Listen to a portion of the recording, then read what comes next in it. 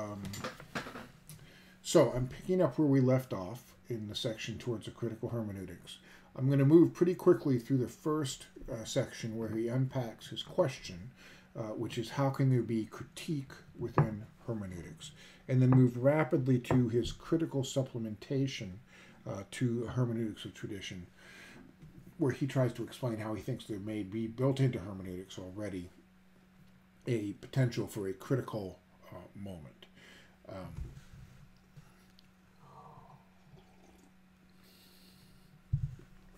so, so the idea is critique in this sense and critical. Uh, he, he relates critical in both the senses we've been talking about, both critical in the in, in the Kantian sense, the sense of modern epistemology, and critical in the sense of critical theory and the critique of ideology. Um, and that's because there's a way in which uh, what, I was just talking about in terms of sexism or uh, heterosexism or racism or all these sorts of um, uh, uh all these sorts of identifications of systemic distortions. Uh, the idea uh, that, that he wants to have, like I said, is, is, is, is what you're raising as the correction to the distortion is is not simply a competing narrative and viewpoint, but somehow true. Uh, and so the critique of ideology, when it's when it's unveiling um, systemic distortions, it's not simply then positing an alternative tradition. It's somehow um, uh, unveiling uh, some truth of the matter, something that's not merely contingent. Uh, from a hermeneutical perspective, that's unthinkable. There's no place to go for that. So, um, as, as I said, Gadamer does his best to escape the contingencies of, of all our communities and our, our own selves, given uh, times and places, with his uh, classical example or the recognition of authority. Um, so, uh, for instance, when I go to my oncologist, uh, then I know there's a certification procedure. There's, there's all sorts of reasons why this person is qualified as an expert. Uh, and this is not um, a blind obedience. This is a, a, recognition of authority, which can be duly mapped in terms of success of people in uh, treating a disease, and, and how that success is then, um, you know, iterized through a, a, science and and through uh, testing of, of people who are qualified to think and understand uh, how these things work in those terms. But but also with regard to say um, ethical truths. Uh, or uh, judgments of, of taste, uh, within the arts. Uh, there, you you you, it's more difficult to think about. Well, what is what are the standards that you would get? I mean, with with oncology, the standard's pretty clear. You you do this and the patient lives, or, and you do this so the patient dies, and it's pretty clear whether one thing is working or another. Uh, it's it's not as clear how to set up standards uh, in areas of, of the arts uh, and the humanities and in ethics. But there, he says we can, we do have something which actually does transcend any given uh, time or place, and, and that's where he talks about Gadamer talks about the classical example.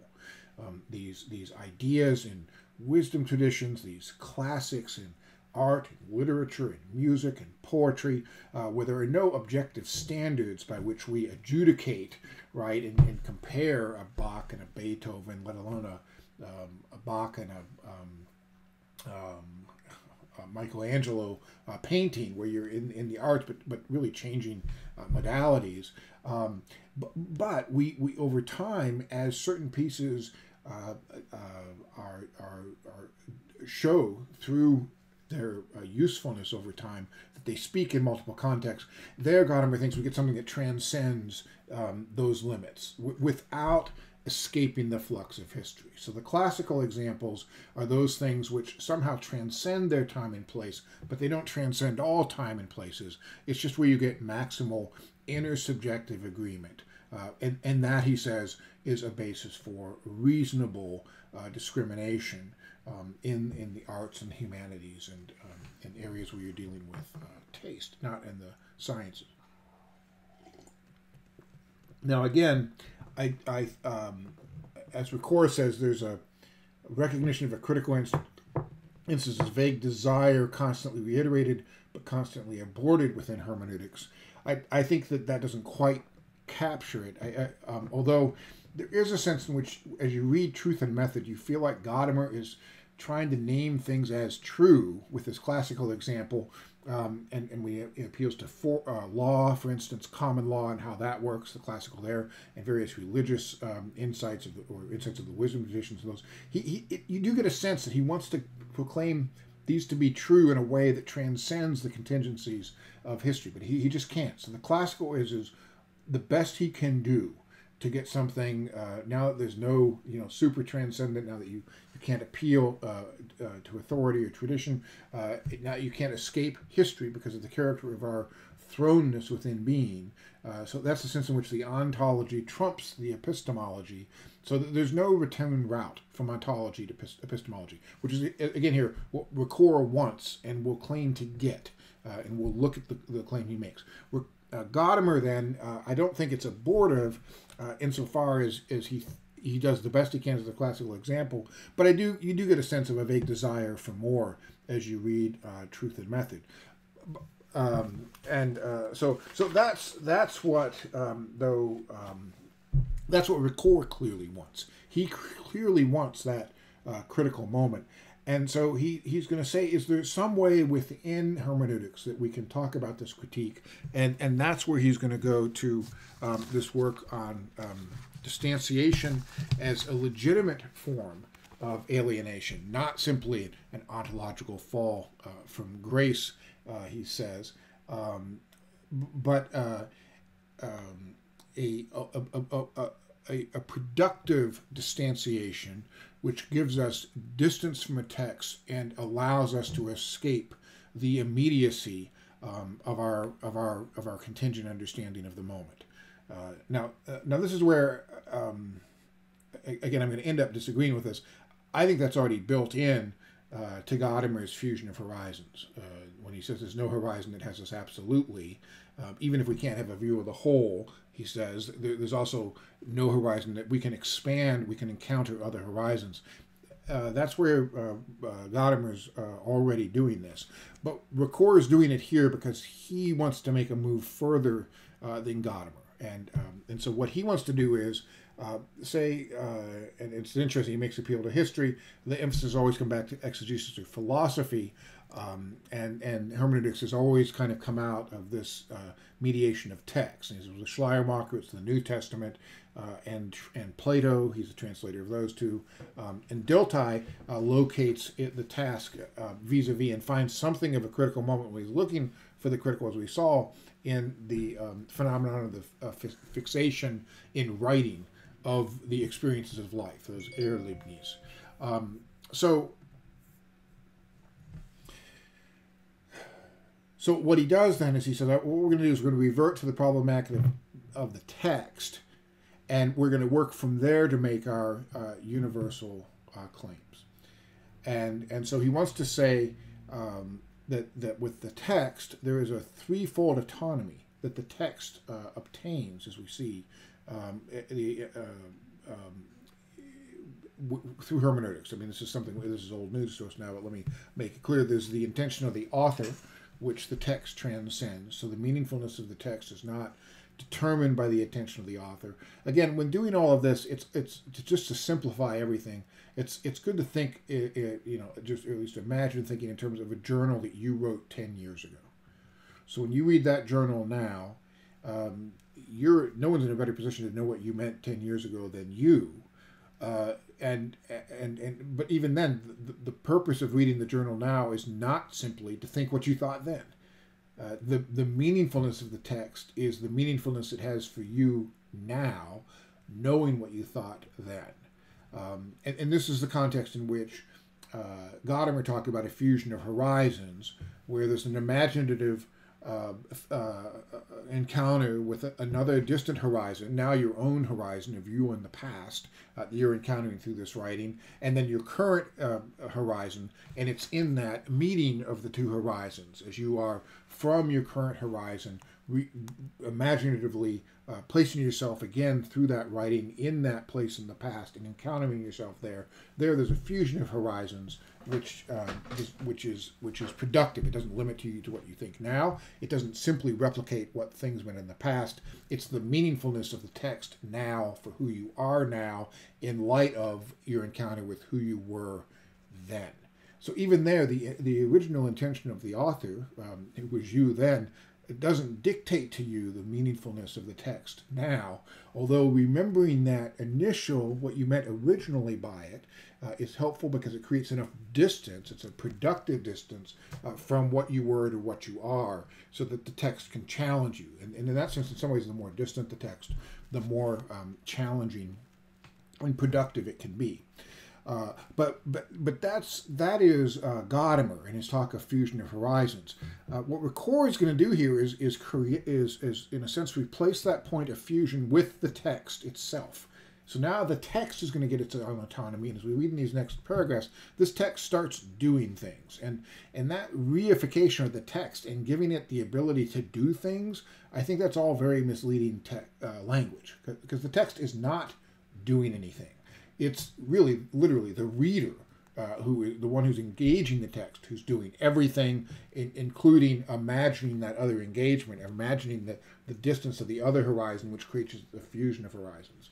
Uh, but he wants to make that make that text give it substance, because that's what's going to give him the critical moment. That's going to give him something that's that somehow is outside of, of, of history in our reading and dictating to us. So so the uh, uh the the text escapes the intention of the author it also escapes the original cultural uh, situation. So, whatever the situation you were in when you wrote the diary, uh, the meaningfulness of the text for you now is not limited to what it meant in that context then, right? So, so then you were married, and now you are widowed. Uh, then you were, you know, I mean, just add it in. It, it, it, it, where you are now makes a difference in what the text means now. So, so the meaningfulness of the text escapes the original attention of the author. It also escapes the um, original cultural situation, and and it also escapes the understanding of the original addressee. With the, with the journal was you yourself as you're writing. You're reading it. You're the original addressee. What that meant to you then, once again, does not dictate what it means to you now. So, in that threefold sense, um, what the text signifies um, escapes the original intention of the author, the um, uh, uh, original uh, um, audience, the original context of the author, yeah, and the original audience um, of the author, the original readers. And, and, and he says this is where the text then uh, becomes a work. So, so that's the distanciation where the text uh, gains this autonomy and and and and and through this um, uh, becomes a work. That's why he has this little brief paragraph. The emancipation of the text constitutes the most fundamental condition for the recognition of a critical instance uh, at the heart of interpretation. For the distanciation now belongs to the mediation itself. Uh, and above that, let me read the places here. The in short, the work decontextualizes itself. Notice how this text now starts to do things from the sociological as well as the psychological point of view, and is able to recontextualize itself differently in the act of reading. I mean, that's literally incorrect. The text is not doing these things, the reader is. But he needs this text to be doing this because that's the heart of the distance, the critical instance that's going to give him that, that sort of objectivity, that critical instance, which is not determined um, by the reader.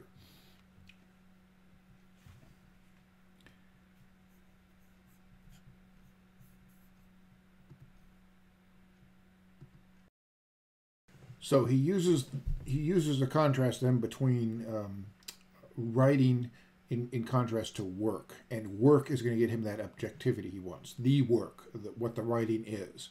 Um, so, and here he says, uh, discourse as work takes hold in structures calling for a description and an explanation that uh, mediates understanding.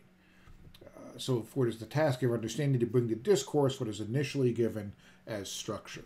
I mean, this is really a return to Dilthey, right? So the expressions of life fixed in language, um, and and then you're going to read that language and and get back to what those expressions of life uh, signify. Um, and and and Ricoeur wants to stress this is not something you can do naively.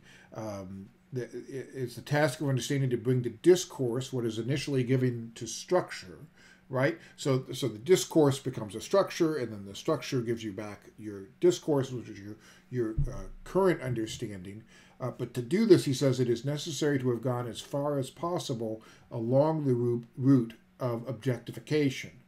Um, and, and this is how you get to the matter of the text. And this is really now we have not only we have a text doing things, but we have the matter of the text, uh, which he says is um, the matter of the text is not what a naive reading of the text reveals, but what the formal arrangement of the text mediates. Uh, if that is so, then truth and method do not constitute a disjunction. Uh, okay, this is a reference, of course, to the title of Gadamer's truth, uh, book, Truth and Method, where he sees in the method uh, of the sciences an alienating distanciation, which alienates us from truth in the historical sense, the, the sense of being. Right. So for Gadamer, that's the relationship of um, uh, truth and method uh, as an ontological fall from grace, as a alienating distanciation. Now again, he doesn't just end there. He, he gets that fusion of horizons, and he has a distant and near. He has an other. So uh, the the key move Ricoeur is trying to make here comes with this, um, in a sense, reification of the text. Now the text has a structure which gives it a matter or the matter. Note the singular here. Um, uh, um, so so that um, uh, um, in the, under letter C, which gets us to the uh, world in front of the text, uh, the, it seems to me the properly hermeneutical moment arises when the interrogation transgressing the closure of the text is carried towards what Gadamer himself calls the matter of the text, namely the sort of world opened up by it. Uh, the sense of the work is its internal organization, whereas the reference is the mode, the mode of being unfolded in, in front of the text. Uh, so so uh, these should all be in the plural. Uh, and, and moreover, which texts are we talking about? That'll be something to keep in mind. It's not an accident up above, I don't think, that he's mentioned Plato um, and the New Testament, right? He, he's putting us, uh, you know, when you read all of this with those two texts in the background, uh, even from this person who's the master of, uh, you know, of, bringing in Habermas for hermeneutics of suspicion, that that tends to open you up in a friendly way to the text. Uh, but what if you're reading Mein Kampf uh, or some other um, um, nationalistic or sexist or um, racist racist text? Uh, then the matter of the text, the independence of the text, and the fact that the text um, uh, has a has become a discourse with a work with with that has to be worked out. You know, okay, well, all that's true. That doesn't necessarily mean I want to open myself up to the world that text opens up. Uh, right? So th- this entire discussion at this point kind of goes off the rails if you stop thinking about the text that he seems to have in mind. Um, so the power of the text, again, how he's giving this text power. Um, so what is sought is no longer intention hidden behind the text, but a world unfurled, unfolded in front of it. Um, the power of the text to open a dimension of reality implies in principle a recourse against any given reality, and thereby the possibility of a critique of the real. Now again, the sort of text you have in mind when you read that makes a difference in how uh, significant you, you find this move uh, to be. So he thinks by freeing the, he, he starts by freeing the text from its original context, author, and audience, and then as it as it moves, it has a it has a form, uh, a structure which dictates the sort of world that opens up in front of it, and and because you don't just read yourself into the text, but you have to do the work to to figure out that text's world dictated by that structure, he wants to say, that gives you a world which is a, is, a distance away from your own world. Um, and that uh, uh, um, raises the possibility of a critique of, of the real.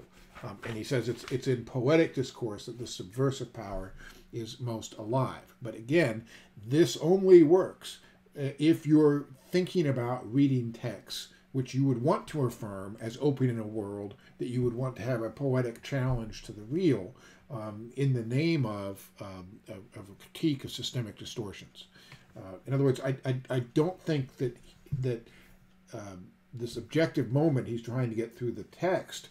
Um, I, I it, there's no there's no criteria for discerning among texts unless he ends up appealing back to Gadamer and the classical example. Uh, then I don't know how he has any way to adjudicate among texts. So this critical moment. This is where I'm, I'm not convinced by his move uh, to a critical moment.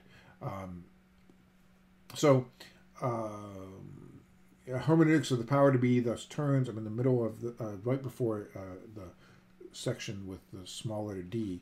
A hermeneutics of the power to be thus turns itself towards a critique of ideology, uh, of which it constitutes the most fundamental possibility. Distanciation, at the same time, emerges at the heart of reference. Poetic discourse distances itself from everyday reality, aiming towards being as power to be.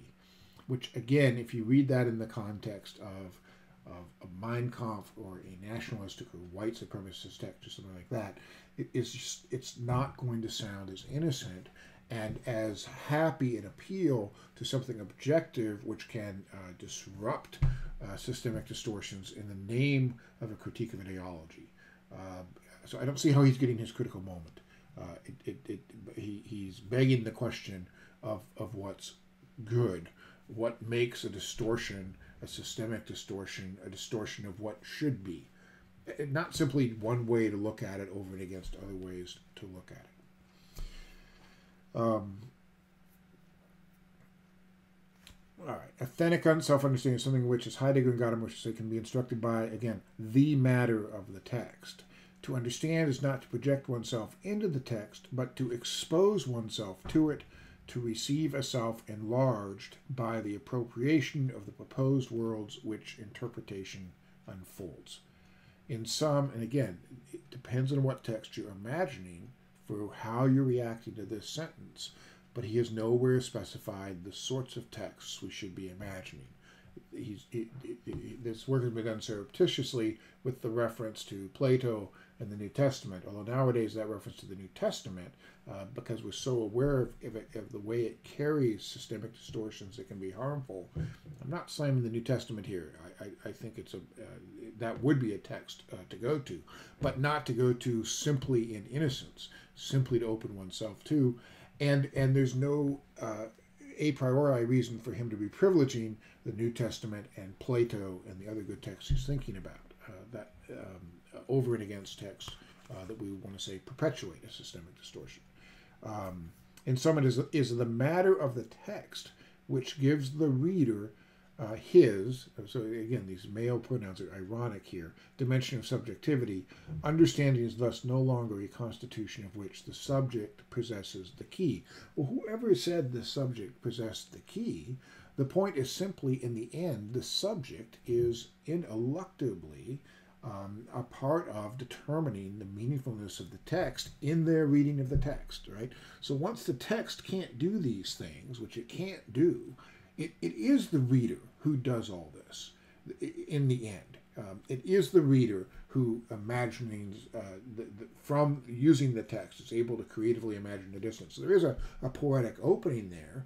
Um, it is the reader who's met in the in the fusion of the horizons. It's it's not the text itself, um, and the text does not. Um, uh, not only does it not necessarily dictate the matter of the text, because the text could mean different things to different peoples in different times.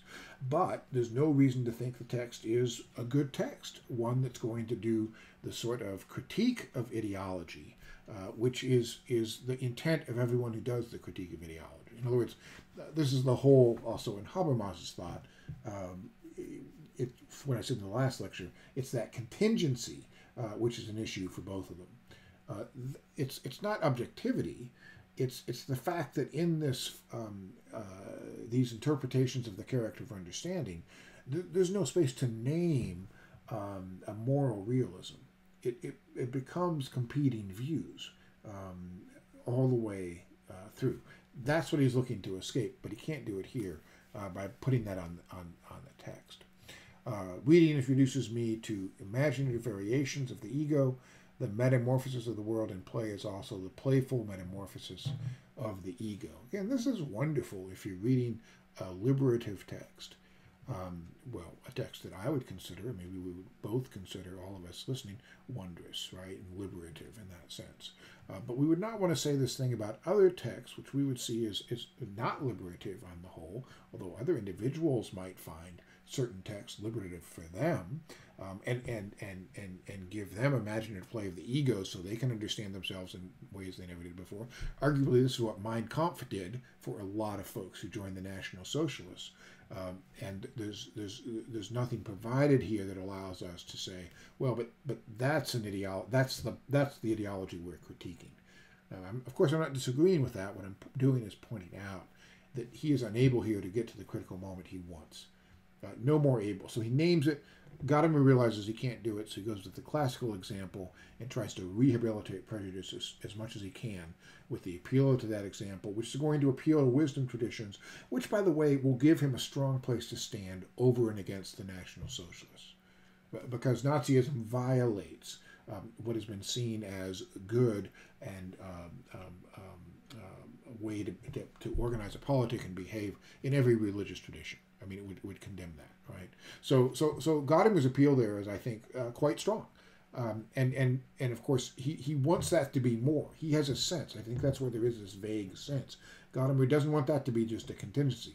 There is something that is is a violation of something really real in the Holocaust, uh, not just uh, uh the, the, violation of one dominant tradition um, or one set of traditions, the classic wisdom traditions over the other. Um, but but Gadamer has nowhere to go uh, to to say that's real. I think that's the the, the vague sense that Ricoeur senses. But Ricoeur trying to make the text autonomous. So that becomes the thing that has a matter of the text which instructs us, which we opens up a world. I mean, the text does all those sorts of things, but Gadamer, uh, with his uh, um, understanding of the dynamic, the uh, spiraling dynamic of the fusion of horizons, where we each exist with our own horizon, um, and uh, and but but are not limited to it imaginatively. Um, and then and then combining that with an appeal to the classical example, which tellingly uh, Ricoeur nowhere mentions in either of these essays we've written uh, read um, about Gadamer. Um, I, I, I, guess because he um, found it unconvincing. At the end of this, he talks about the critique of false consciousness can thus become an integral part of hermeneutics. But once again, he's given us no basis for discerning what constitutes false consciousness over and against true consciousness. And, and declaring texts autonomous in the way he does doesn't give us a basis for making that discrimination.